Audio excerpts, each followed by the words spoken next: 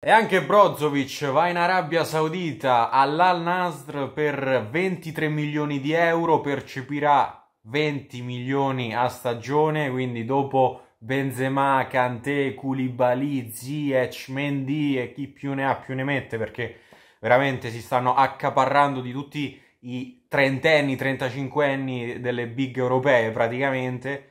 Va anche Brozovic in Arabia Saudita, anche questa è una notizia che non mi aspettavo minimamente. Mi aspettavo una partenza di Brozovic, sì, perché l'Inter aveva bisogno di far cassa e Brozovic era uno di quelli più eh, indiziati a, a partire.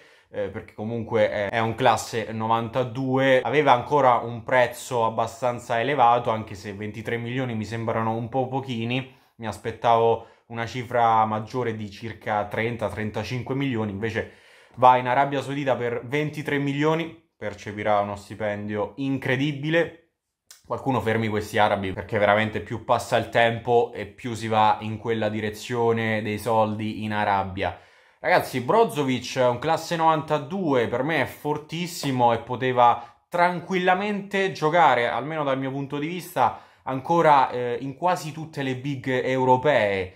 Invece ha scelto questa strada di praticamente andare a prendere i soldi in Arabia. Certo, l'offerta è, è clamorosa. Ragazzi, queste sono notizie abbastanza tristi dal mio punto di vista.